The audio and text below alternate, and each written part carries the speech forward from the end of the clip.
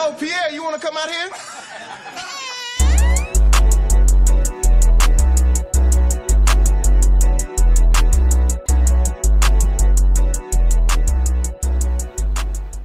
All right. Welcome back to episode four of the Opportunity Knocks podcast. My name is Mateo. I'm your host today. And joining me today is Mr. Muskoka himself, Jack McKague. I'm going to wrap through your uh, list of achievements here, your history throughout the company really quick. Uh, so, Jack started with us in 2020 back in Calgary, uh, out there an Alberta boy, born and bred. Actually, wait, where were you born? No, not Alberta. Va- Vancouver, Vancouver. Squamish. Squamish, Yeah, I say Vancouver because I've uh, I was just across the world no one knows where Squamish is, but yes, Yeah. that's where I'm from. Beautiful place. I've been there a few times. Fantastic place. Yeah. Have you sold out in Vancouver at all? no, I haven't sold out in Vancouver actually. Um, it's been only Calgary and then Muskoka.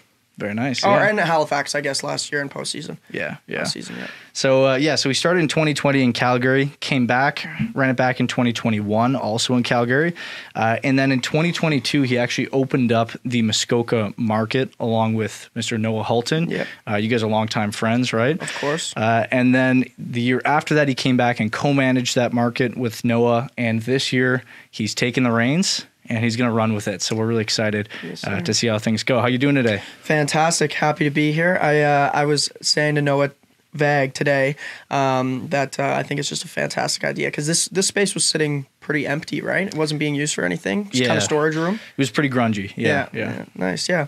Um, yeah, man. I mean, uh, I'll, I'll correct you in saying that Noah Holton actually was the one who kind of jump started and pioneered the Muskoka office. I was there to help him. Um, but to be honest with you, I wasn't even going to come back and sell in my third year.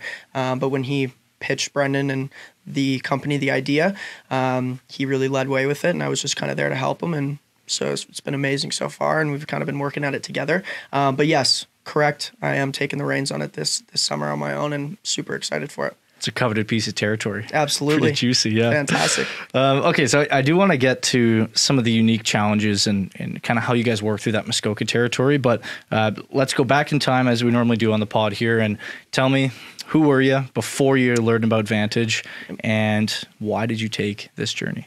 Yeah. Um, so it's a funny story, actually. Um, well, in in a way, um, because uh, my taking of the job has led to some of the company's you know top performers, um, which has been great, and obviously they've had a fantastic experience as well. But um, university student, I was going to Bishop's University, which is a small school out in the Eastern Township, south of McGill, and um, we were let go for COVID early. I was sitting at home, just really just doing nothing.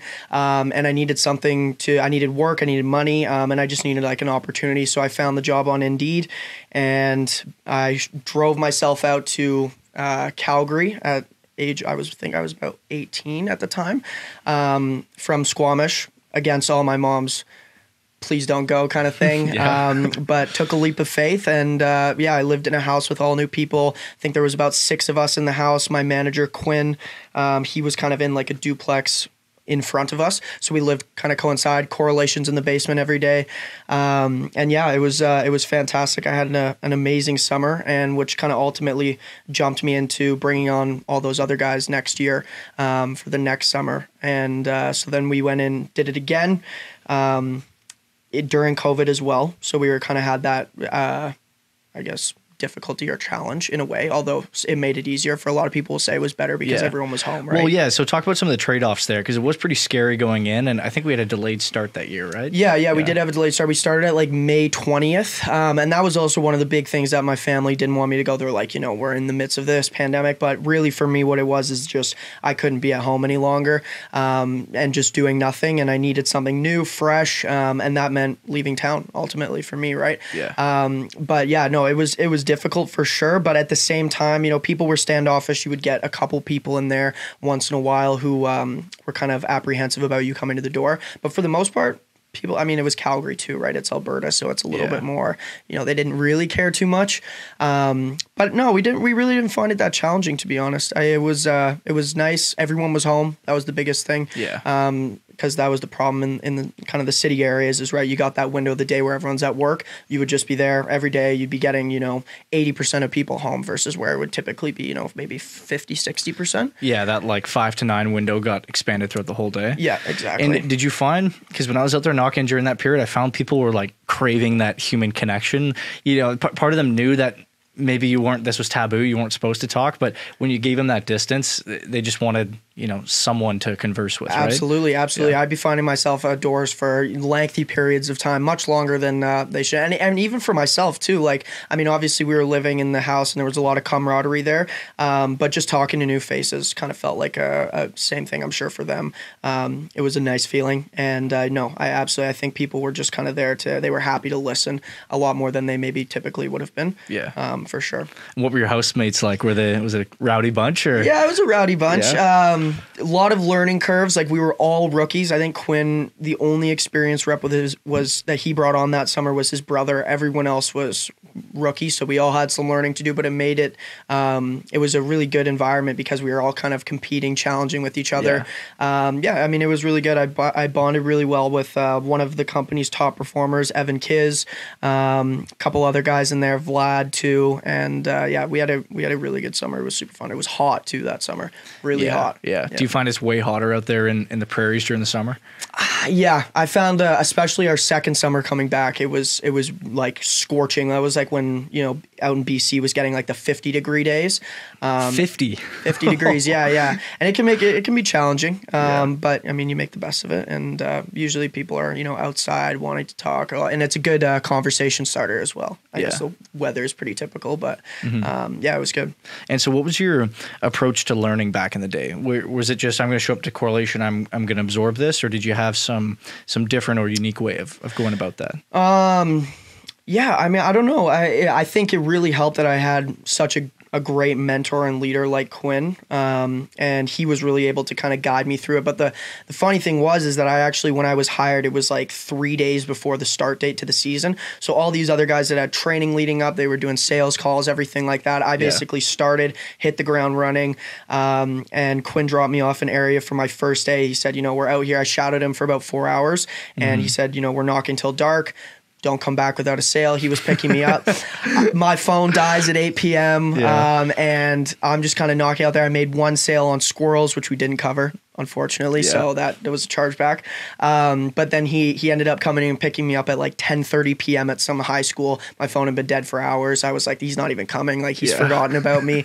Um, but no, of course that wasn't the, the darkest case. hour. Yeah, yeah. He was just showing me kind of um, what it takes and and honestly just putting on a, a great role as a leader to um, show me that you know if he can do it I can do it kind of thing and that's where I felt I really learned a lot um, was from him and just kind of getting the ropes of what it takes to lead a team and mm-hmm. um, to be successful in the job but also to I would say the training materials I didn't focus so much on. And if I could go back and do one thing differently, it would absolutely be like focus on the training materials a little bit more. And my first summer, obviously, was a bit harder um, because I was I got kind of just propelled into it so quickly. Yeah. Um, but for my second year and bringing those other guys on as recruits and whatnot, um, I wish we kind of went a little bit harder because transitioning into my first summer in Muskoka, um, we went really hard on the training materials and it made yeah. like a world of difference. Like I doubled my sales the next season around. I got uh, most improved veteran award at the award ceremony. Um, mainly I, I credit a lot of this success to just, you know, training and um, like learning stuff beforehand. And you, you may think you know the most, um, but it, there's always things that will slip your mind that you go back and listen to the material and you're like, okay, yeah. You know, this is I, I've, I've forgotten this and thank god i did listen to it because it's going to help me so much further right yeah and people can tell like they can immediately when they ask you an objection they can see that flicker in your eyes where they're like yeah, yeah, you yeah, don't yeah, know. Exactly. You actually don't know. Absolutely. Uh, but yeah, no. Um, and and so I think you've been one of the more consistent reps um, that we've had over the years. And and do you attribute that to uh, Quinn is obviously a very consistent manager, and, mm-hmm. and he sets a very you know standard pace. Um, yeah. You know, a, a, high pace given, but you know it's fairly consistent throughout the summer. Mm-hmm. Um, you know, beyond that leadership, were there other things you do to be consistent um, that might be unique about you? Uh, I don't know. Like, I don't know if there's one thing, obviously, you know, they say, you know, look good, feel good, working out, having that kind of um, environment with our team or my team, whatever the case be. Um, definitely, you know, you can attribute some success to that. Um, just getting up in the morning, hitting the gym, eating good, and then you're ready to get out there and just kind of put on game face and, Yeah. you know, show what you've been working towards for sure. Um, but I would say, like, when I went into Muskoka first year, kind of not necessarily being the manager because Noah was the manager that year, Noah Holton. Um, he uh, being in still a bit of a leadership position where it was like you know I'm I've been around the block a little bit. I can provide insight. That it was like the the saying you know lead from the front, right? Um, you did need to kind of put on. Uh, to con- to continue to main remain consistent, um, you needed to put on a no, I know what you mean. I know what Yeah, you mean. yeah, yeah. And okay, so that's interesting because a lot of the time we talk about what was it like to be um, a rookie, what was it like to be an experienced rep, and then what was it like to be a manager. Yeah. Right. But there is that, you know, I guess stepping stone in between, which is I'm like the lead experienced rep, Mm-hmm. and everyone on the team still looks up to me, but I'm not technically their boss or their Yeah. or their manager. And so, talk to us about kind of walking that line. Like, do you want to be more I'm one of the boys sort of thing, Yeah.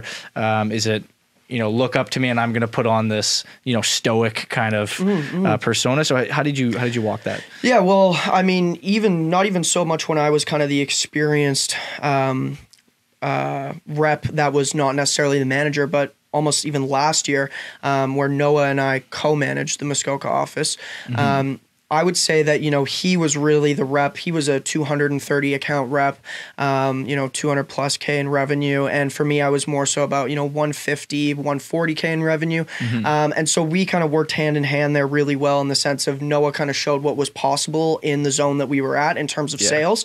Um, you know, paved the way for that and was also a fantastic, you know, leader to be there for the boys.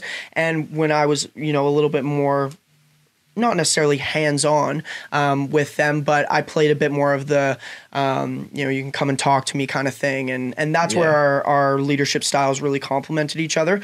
Um, and yeah, it worked out really nicely. And I think, uh, yeah, I don't know. He it, it, it made for a very um, inviting office space, workspace, right? Yeah, that is a nice way to structure because yeah, there, there's always this informal kind of. I don't want to go talk to my boss. I want to go talk to someone who Yeah. you know has been there and, and done that, but is also not really you know my my. Yeah, I don't know how to say it. Like like the guy who's doing your performance review, even though we don't. do Yeah, that, and they but, can they yeah. can relate to it in a sense as well. Like I'm sure there were some situations where oh, you know Noah's gone and popped out you know eight on the day, Mm-hmm. um, and maybe I'm having a bit of a tougher week. You know they can come and maybe confide in me a little bit more comfortably than it would be going to him, and vice versa. Yeah, like they, yeah. Mm-hmm. that would work both ways. You know I would have my great weeks and Noah wouldn't, and it would work equally hand in hand.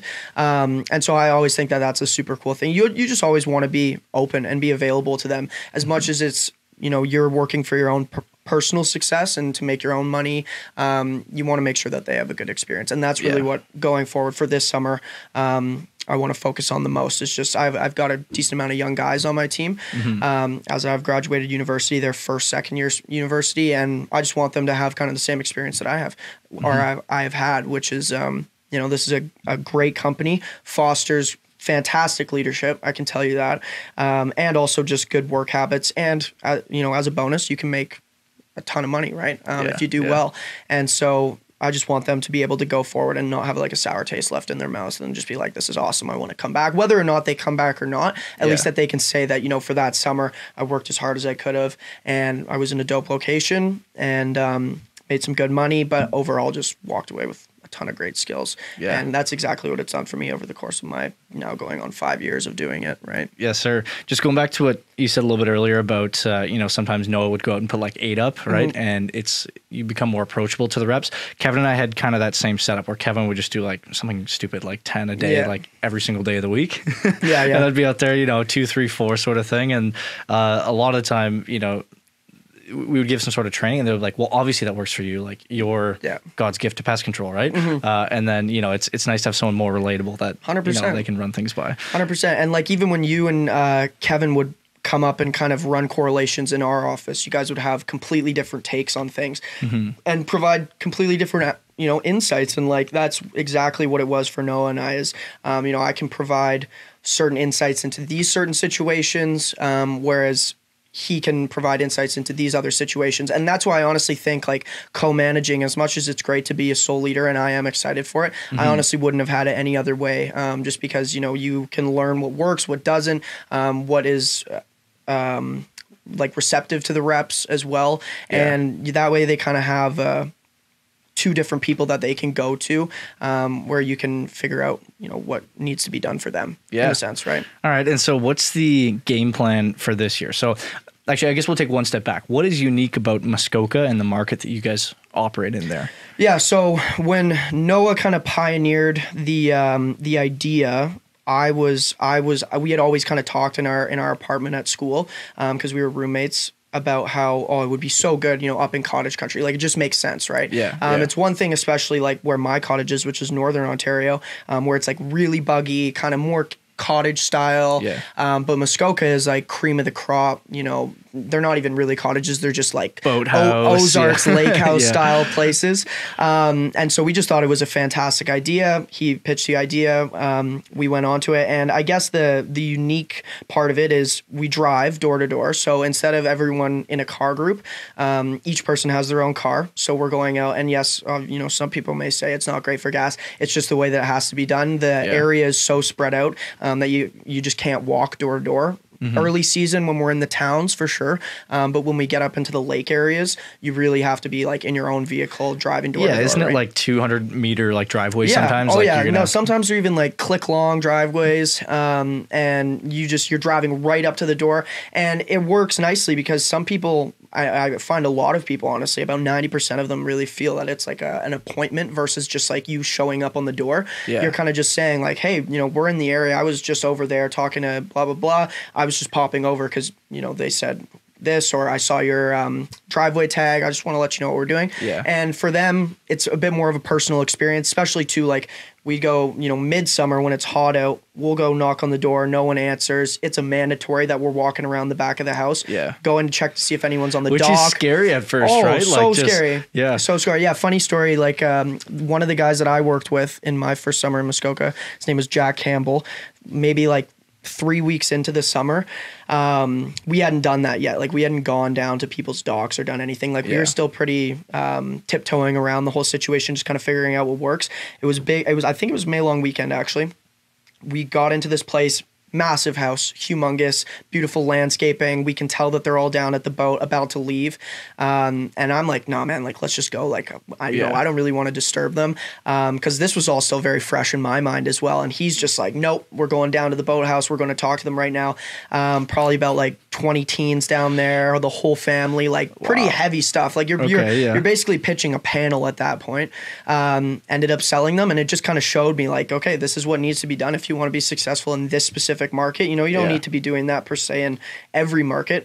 Um, but if you're in those certain situations where people really are just on vacation yeah. per se. Um, you you kind of have to just go after it, and it will pay off. And it, I would say like thirty percent of my sales last summer um, were done way off the doorstep, like starting off of the doorstep. Yeah. Right, like in the dock, in the backyard, out on the deck or whatever, by the lake. Yeah. Um, and that is a super unique. Uh, aspect to our market that a lot of other markets, if not, I don't think any really have. Mm-hmm. Um, so it's well, I'm cool. trying to think like the closest comparable is like um, some guys cutting the grass and you're like, cut the mower, cut the mower, yeah, right? Yeah. And, and, like even that's pretty nerve wracking. Or, or someone's like hustling out to their car and and you want to get that 30 seconds in mm. just before they they drive off. Um, or even just waving someone. I guess if they're in the backyard, you can kind of see they're back there and kind of waving them yep. off. Um, yeah, so that's interesting. That's got to be kind of scary. Yeah, yeah. We coined the term uh, car pitches. So basically, like we'll be in our car going down a dirt road, a, mm-hmm. a, a cottage road or whatever, um, and someone will be coming up, and like because the the vacancy, I guess you could call it, of um, the amount of people who are home um, are so far and few. Like you just really have to just try every single opportunity, yeah, right? Like yeah. you could go down to a street of ten cottages and there'd be absolutely nobody home, and that's just that's just mm-hmm. the statistics of it. Like people just aren't up at their place.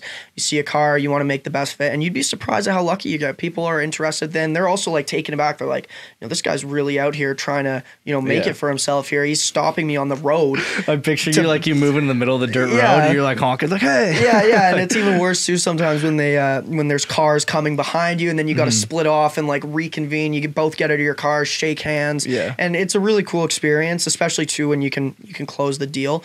Um, I mean, for yourself, like you can only imagine what that does for your confidence, right? Yeah. Like it's like It's the insight checkpoint. You got to pay the toll, which is a 30 second. exactly, exactly, pitch. yeah, exactly. Well, that's funny, man. Yeah. Well, it's cool to hear about um, the different setup you guys have up there. But your closing rate has to be really quite high then, right? Because you're going to talk to like how many people in a day? Yeah, so like if you could would compare it to a city um, office, right? Like let's take Montreal or Edmonton for example.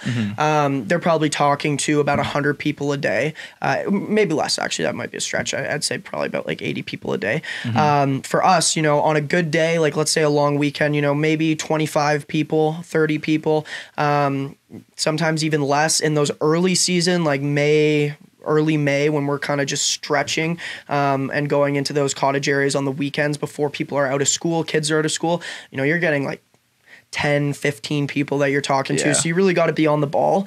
Um, but that being said, it does go hand in hand because for a lot of times people do kind of see the need for the service a little bit more up there, Mm-hmm. um, especially when you have like, you know, castles and they don't want the spiders in their boathouse because, Yeah. you know, of course they poo on the boat and it's this whole thing. But it, it Yeah. does, it, it, it complements itself nicely.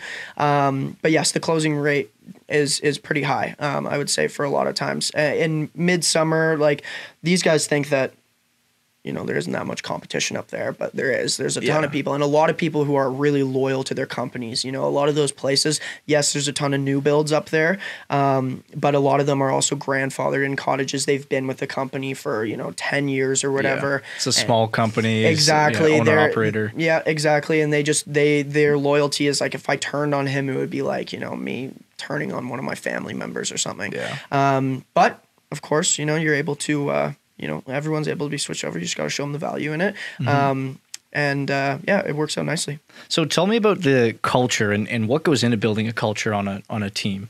Uh, and so if you can picture yourself as uh, maybe like a rookie manager or something like that, because you guys, you know, you had these reels at the end of the year you were you were putting out, and, and everyone on your team was so bought in. And so how did you guys get that level of of commitment? Was it just organizing group activities, like you all went to the gym together? Was it that sort of stuff? Yeah, yeah. Um, like definitely group activities. You know, we would we have the privilege of being able to do like you know boat days or whatever, right? I mean, And every office does. It's just a little bit more accessible for us. Um, and so our thing was like you know Sundays we would either go do some golf, we would go out on the water when it was warm enough. We just try and really make use of the the beautiful area that we've been given to work in. Yeah. Um, which you know a lot of other places don't have that opportunity. Um, but I would say like it was we all lived in the same house the office didn't really str- the office i guess you could say the house um, like we ran our correlations in house as well and i'm sh- and you know coming to an office we i've never had that that um uh, experience, I guess you could Yeah. say, to be like running the correlation in an office. But for us, it was, you know, you're on time, 11.30, 11.45 every day um, down in the living room. And we would just get everyone fired up. We were also really tight boys by the end of the summer. Um, and it just, I, I would say, like, you could almost think of it and don't take this the wrong way as like a, a frat house in a sense like it was like we Yeah. we all really just like thrived off of each other there was a lot of excitement in the house a lot of competition too especially we had blair who was uh, third rookie last season um, so you know of course all the other rookies are kind of looking up to him um, you know how is he doing this and um, but I, I would say that on top of um, you know just making it so that they can appreciate what they're going to do every day. You know, like I I, I I'm talking a lot about the office and the, and the the landscape and stuff, but I don't really know a, a, another 20 year old who gets to drive to work with a lake on each side of himself. Um, and I mean that could translate into any any office, any workspace, right? Like you just have to um, make them kind of make the reps realize, um, you know, that what they have is so unique and so Yeah, you know yeah. um, you know it's an opportunity that not many people get or not many people at least are willing to try um, i'm trying to think of some other things i think we were just like we were just passionate about it you know like we were just really um, excited to see them succeed Yeah. in the job um, which obviously showed them that you know we cared and um, that we wanted them to just once again have a fantastic experience at the job. And I mean, it's hard to it's it's it is hard to not love it up there. I mean, we had our hiccups for sure, um, service side, whatever, as any new branch does. Um, but for the most part, it was just kind of creating an environment, making sure that everyone's included. Yeah, well, you guys took an active interest in your people, right? Like, there's Yeah. there's one type of manager where it's like, I'm just gonna, you know, get this huge herd of cattle and see who makes it through the the summer, yep. sort of thing, right? And another type of manager who's really going to take an active interest and say, we're gonna have a small, tight knit group. Um, we're going to take an active interest in managing you guys. We're going to do activities that build us together as a team. We're going to pick each other up and dust each other off when uh, when we fall down. And um, man, you guys had a great culture up there. Yeah, it was awesome. And like I would say to that, like the small team atmosphere, and, and don't get me wrong, um, you know, because I haven't had any experience leading a large team, so I don't know what that it would translate over to. Um, but the small team really does have a. a uh, camaraderie, I guess you could say that no other office would, because everyone really does like feel that they're a piece of the puzzle, Yeah. um, in a sense, right? And that they have a part to play, and like it, you can really feel it, especially like those morning sales meetings correlations. Um, and so I would attribute that to uh, a, a piece of the you know having a successful um, environment. It would just be that Yeah. you know you have a small knit team and they all work really well off of each other. Yeah, definitely. I, I Mm-hmm. remember coming up there to do uh, some of the meetings, and you could tell every single person on that ha- on that team had like a distinct personality, Yep. and it would Yeah, show yeah, in, in every correlation with uh, the questions they asked and all that. So exactly, yeah. exactly. Um, so what what are your what are your big plans then? So this year and, and beyond, what what do you got in mind? Yeah, so um, this summer, I mean, uh, my my my goal is to kind of have a, a goal in mind to work towards, Mm-hmm. um, which I haven't quite decided on just yet. But I think what I want to do is go do some uh, ski competing in the off season. Cool, Um, all So maybe go to Europe, do some competitions, see where that goes, and really that's going to be my drive throughout the summer. Mm-hmm. Um, well, one one piece at least um, is to just be able to you know have some a, a good money and just kind of be able to go out there freely, compete what I Yeah. need to. So wait, so wait, tell me about that. I, I didn't know anything about this. So Yeah. uh, what what kind of events? Like, are you slaloming? Are you doing backflips? Like, what does that look yeah. like? So um, before I went to school, like obviously growing up in Squamish, I grew up skiing at Whistler. Um, Mm-hmm. So we call it free ride essentially, um, which means you know you pick a face. There's cliffs, natural jumps, you know whatever the case be, um, and you just find the best way down it. That kind of looks the best. cool. Yeah, best best tricks. So that's like unprepared, like the what the, the snowcat hasn't gone through that area. No, like, no, no. It's all off piste skiing, um, and I mean, it's in my opinion, it's the best kind. I mean, some people may say that park skiing is the best. I disagree. Um, Is your chair broken there? Yeah. I'm not sure. I'm leaning back. Um, but uh, hold on, we might have to put a quick pause on here. There's a thing on the left hand side, a little, little stick you can. Uh, I yeah, guess I could lean. It's fine.